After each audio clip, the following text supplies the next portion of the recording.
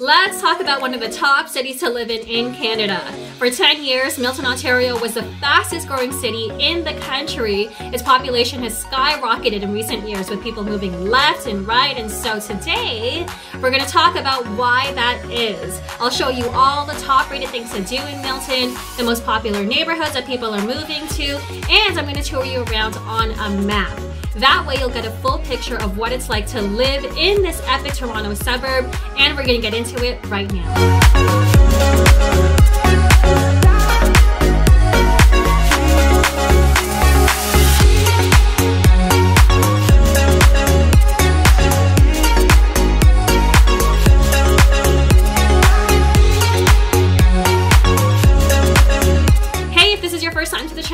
to know everything there is to know about working, eating, sleeping, playing, the good and the bad of Toronto, Ontario, and the surrounding areas like right here in Milton, then subscribe below and tap the bell for notifications so that you can be the first to know about the current market in Milton, Ontario. My name is Rochelle. For the last seven years, I've been helping people just like you make the move to Toronto, Ontario, and I love it. So as a real estate agent here, I want to help you make that move. And so whether you're moving in nine days or 90 days, be sure to give me a call, shoot me a text, send me an email, or even schedule a Zoom call, and I'll be happy to help you make that smooth move to Toronto, Ontario. So in this video, as I mentioned, I'll be walking you through Milton, Ontario. Let's hop into my computer and let me show you around.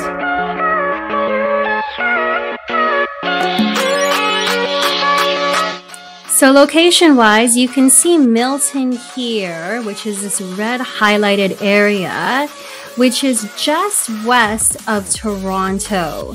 So that would be about 60 kilometers or an hour drive along the 401. The 401 here being your main highway and closest highway to get anywhere out of town pre pandemic, we did have a lot of commuters working in and out of the city and traveling downtown Toronto via the GO train right over here. Let me just zoom in.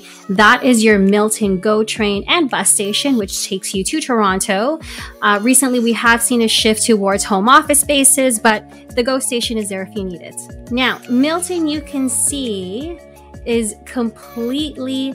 Let me get rid of this it's completely landlocked, so you're surrounded by all of this greenery. And what's great about that is that all of this natural scenery that you get to take in. Milton is right along the Niagara Escarpment, which is this huge rocky cliff that starts in the States and then makes its way into Canada and right here through Milton. So residents get to enjoy amazing views of this bedrock. There are people who go rock climbing here. They have about 700 acres of hiking and camping spots. I recommend the Vista Trail, which is about one and a half kilometers, and you get three amazing lookout points. One of them being the pinnacle which has stairs that take you to the bottom of the escarpment, and then a trail that actually leads you to Crawford Lake, which is another very popular place that people like to see because it is a really rare type of lake, Crawford Lake.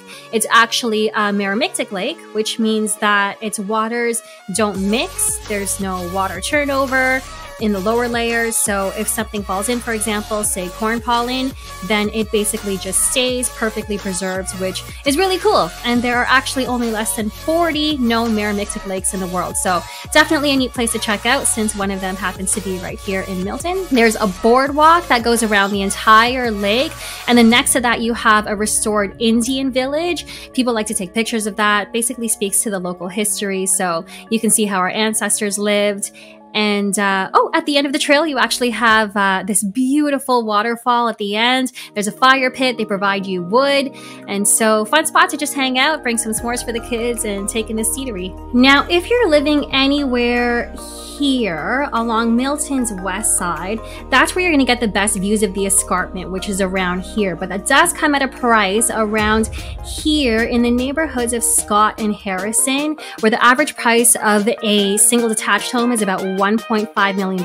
But homes with an unobstructed view of the escarpment will easily run you over the $2 million mark. So It is at a higher price end, uh, higher price mark, I should say, but homes or the area just west of Tremaine, which is right over here, is considered protected. So you aren't going to see major developments or high rises that are going to block your view, except right over here right over here at the corner of Derry and Tremaine at the south uh, west corner is where they have the proposed uh, Laurier University that they're going to build there. I'll put L for Laurier.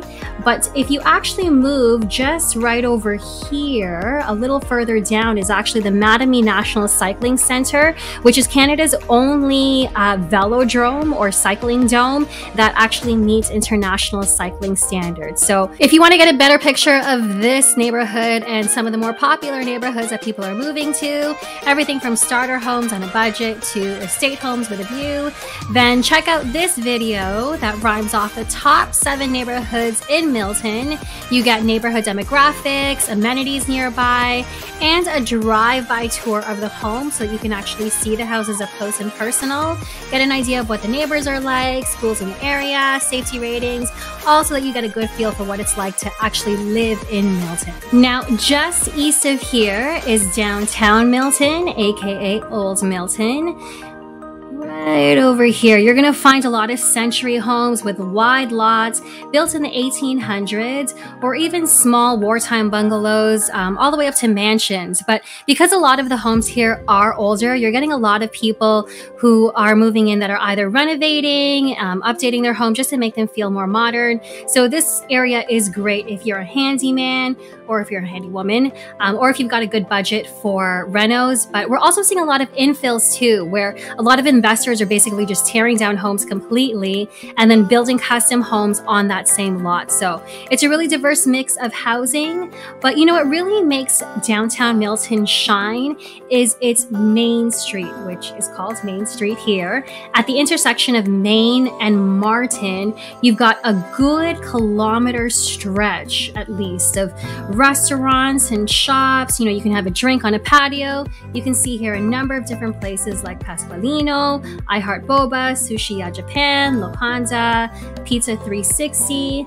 You can even take your kids over here to Rotary Park. They've got a playground and a splash pad, which is nice during the warmer months. Um, or just above that, over here at Mill Pond, you can just chill out, read a book, be the birds. It's all good and lively right here in the heart of Milton. now, right here next to Old Milton downtown is the neighborhood of Bronte Meadows. So, Bronte Meadows is actually home to the Milton Hospital, which is right around here. And then scattered around the neighborhood, like here, here, you can see some random pockets of shopping, specialty food stores. Um, you can see, for example, Champs Family Entertainment Center, Memphis Barbecue. There are medical and professional office spaces. Now, you definitely want to check out La Rose Bakery. They have a very tasty penny, penne and sausage dish that I tried the last time I was there. Uh, you can take it out. It's really tasty. But I'm actually going to zoom out here and show you another attraction that's really popular with locals. So, Glen Eden Conservation here is actually home to Kelso Lake. They have a beautiful beach um, that's more or less split into two because on one side you've got swimming, and then on the other side you've got a lot of people who are on their canoes, kayaks, paddle boards, or paddle boats. And they even have a rental shop here where you can rent any of these watercrafts in case you don't have any on your own. And then We've also got the Glen Eden um, where you've got downhill skiing, it's snowboarding, a lot of things that you can do in the winter months. So I think we're coming across a really main theme here where for anyone who wants to be outdoors and be one with nature, Milton is definitely the place for you. Now, further out here, and also popular with locals and people coming in from out of town, is Springridge Farm. It's a family owned farm that you can visit where, aside from the animals, they have chickens and goats that you can feed. Um, but there's also a wagon ride that you can take to a cornstalk maze, hay bales that you can climb, tube slides. You know, I would honestly say that this place is geared more towards toddlers and kids. Families usually spend a whole day there, um, but it is right next to the escarpment where you can honestly get the most wicked views from the farm. They have this huge hill that you can climb that gives you great views of not only just the terrain, but a good chunk of Milton as a whole. You can kind of see as uh, from a bird's eye view. It's beautiful, but it does get busy on the weekends, so just be mindful of that. But if you do check it out, make sure that you take home one of their fresh blueberry pies from their market bakery. It tastes like heaven. And if you do have a family, then Dorset Park over here, this is a neighborhood. just zoom in. It attracts a lot of families because it is a, close to a bunch of amenities because you're close to Old Milton downtown, but it's also home to a lot of these cul-de-sacs that you can see here or dead-end streets, which is good for kids because you're not getting a lot of street traffic, just people who live on your court. And you're also getting a good range of different houses and different prices um, to suit a range of budgets. And you're also right in between Highway 401 and the Milton GO station, which is right over here. So this location or this area is perfect for commuters as well. And then this area here is the neighborhood of Timberlea right next door, right in between Main Street and Nipissing, the city has actually um, zoned as an urban growth area, which means that you know you can build apartments, for example, up to four stories high here. So if you were looking for a smaller space, then this place would be ideal. You are um, close to Milton Mall as well, which um, Okay, so Milton Mall isn't the most exciting mall in the area. It is smaller and older than you might be used to in bigger cities, but you do have access to a bunch of amenities, um, everyday conveniences. You can see a bunch of banks like RBC and BMO. You can see Fit for Less, um, a bunch of dining options. There's a Lowe's. Um, so, in case you don't feel like cooking dinner, then this mall is close and easy.